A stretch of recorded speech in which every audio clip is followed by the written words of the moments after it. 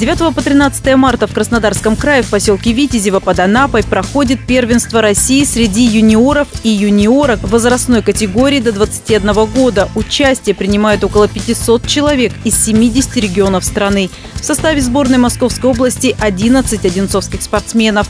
После двух дней соревнований на счету сборной Подмосковья уже одна золотая медаль. Борьба за награды еще не окончена. Болеем за наших.